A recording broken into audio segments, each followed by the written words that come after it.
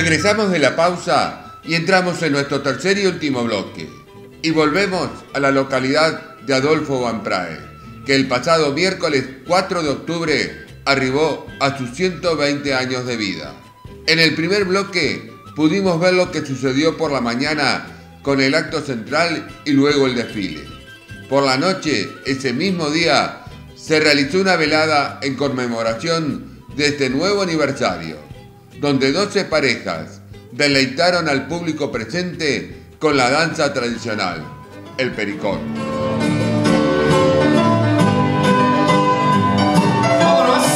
Eh, armamos un pericón eh, con gente del pueblo de Van Hoy Van cumple 120 años y armamos un pericón, eh, una danza nacional.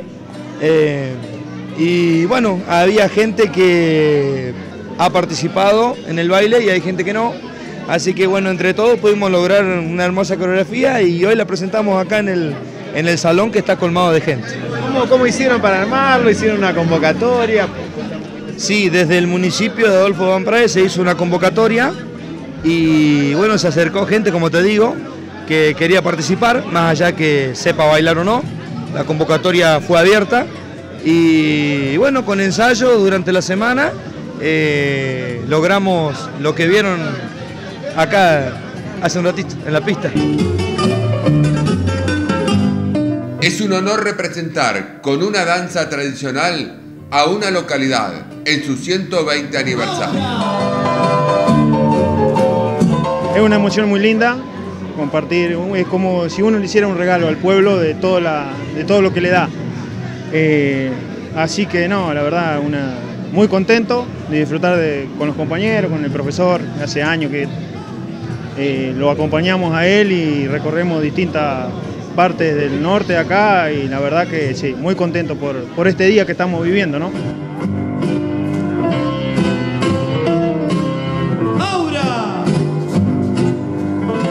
Eh, algo especial, yo integro el ballet de acá desde que se inició y bueno, eh, siempre dispuesto a lo, que, a lo que salga. Y esto para una fiesta del pueblo es yo la primera vez que lo hago y sí, uno se llena un poco de emociones por ahí porque lo comparte con amigos, con familia. Eh, así que no, muy, muy lindo. Sí, o sea, al toque estábamos ahí cuando, cuando iniciaron esta idea, eh, nos prendimos enseguida. Sí, sí. Eh, el aplauso de la gente, seguro llevarse el aplauso. Es, lo mejor, es lo mejor que uno se lleva, sí, en, todos los escenarios, obviamente. Pero bueno, acá es, es más gratificante.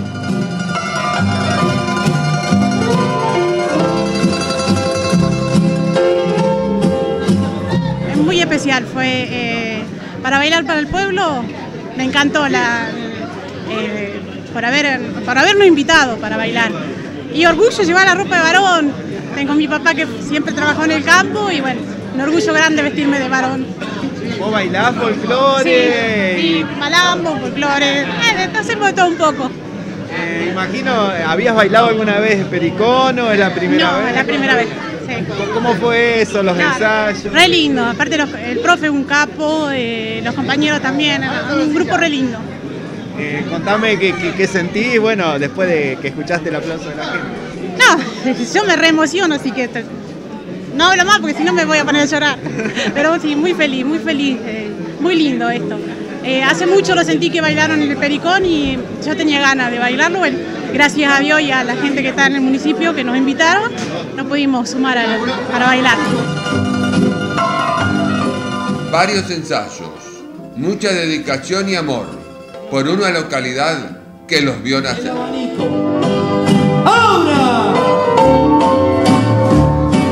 Ensayamos dos veces por semana, así que bueno, esto requiere de ensayo, de, dedicación. Eh, lo que es tema baile, después hay que empezar a buscar la vestimenta. Y gracias a Dios todos los chicos han tenido una predisposición bárbara, como siempre. Hay muchas mujeres que hoy día hicieron de varón, porque hay pocos varones.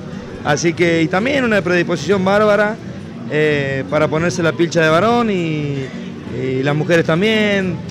Eh, confeccionaron las polleras. Eh, bueno, un trabajo lindo de 15, 20 días atrás. y bueno, se vio reflejado hoy en la pista.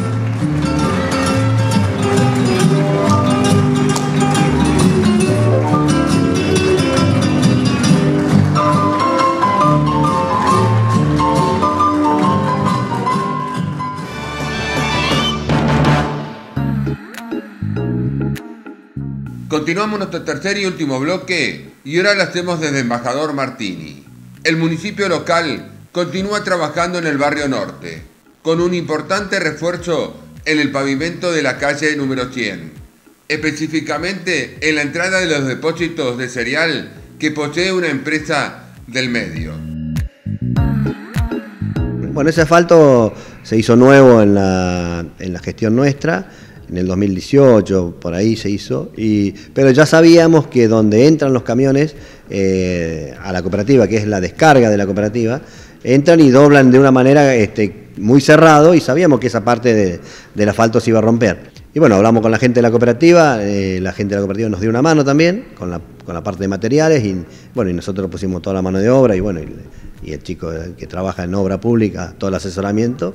Y la verdad que bueno, es una obra costosa, porque hoy los números son todo, se va a ir más de un millón y pico de pesos, pero, pero bueno, va a quedar algo que queda terminado y va a quedar bien, eso no, no se va a romper, porque bueno, se hace un, una capa ya para camiones de kilos, ¿no? Y con kilos, ¿va? con los kilos que reglamento.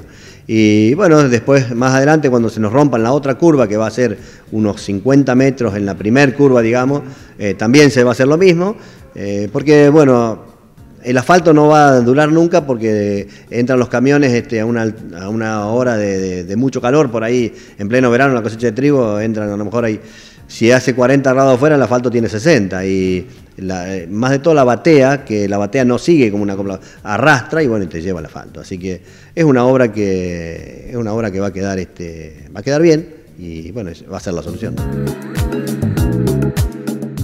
Continuamos con la entrevista al intendente Ariel Bochino en este caso, nos habla de la entrega de subsidios para la compra de alimentos balanceados a productores afectados por la sequía.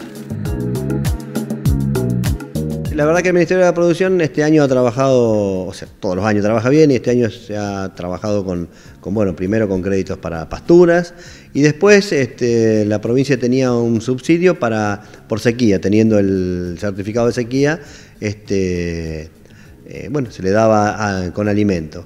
Eh, nos mandaron 3 millones de pesos y bueno, eh, los, los, productores que, que, estaban dentro, encuadraban dentro de, de, que tenían certificado de sequía, no tenían más de, de cierta cantidad de animales y bueno, todos ciertos requisitos de que, que se pedían desde, desde provincia.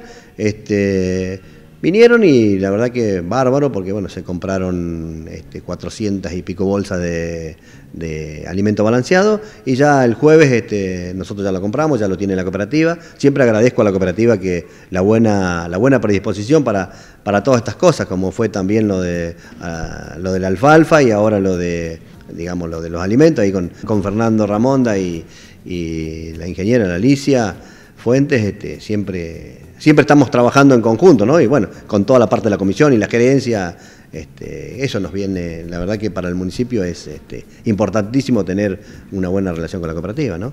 Y bueno, y agradecido siempre al ministro, a la ministra de la Producción y en este caso al gobierno de la, de la provincia, este, la buena predisposición para, para ayudar a los productores que hoy estamos pasando una sequía este, bastante importante. ¿no? ¿Cuántos productores fueron beneficiados? Eh, bueno, todos los que nos presentaron el certificado fueron en total, me, viene el número pero 26, me parece mm. que eran 20, entre 25 y 26. Este, así que van a estar beneficiados con 18 bolsas, me parece cada uno que, que les toca. ¿no?